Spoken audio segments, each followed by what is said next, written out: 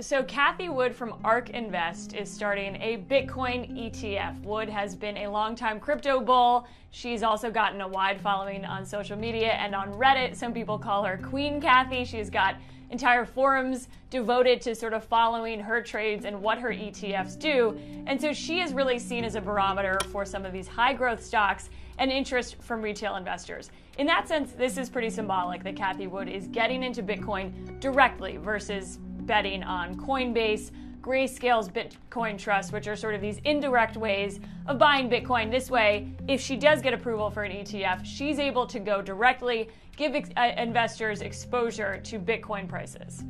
So, Cathie Wood is hardly the only one looking to launch a Bitcoin ETF. There are now eight applications in with the SEC to launch an almost identical investment vehicle. Uh, one of these was delayed just last week. The SEC postponed a decision, and it has been sort of kicking the can down the road in terms of making a decision. It's cited things like market structure and really has not taken this head on. And I'm sure there's a lot going on behind the scenes, but Bitcoin investors have been waiting for an ETF for years. So really this this is not new in the sense of a Bitcoin ETF and the idea of that being floated, but Cathie Wood as a symbolic crypto bull, for a lot of people in the industry, this is big news. So, Bitcoin ETF would give investors exposure to the prices of Bitcoin without actually holding the Bitcoin themselves. So, if you didn't want to open a Coinbase account, for example, you might be able to buy Bitcoin or get exposure to Bitcoin on your current brokerage firm. So, say you're using Charles Schwab, for example, you don't want to open up a new account, but you want a little bit of exposure to the price of Bitcoin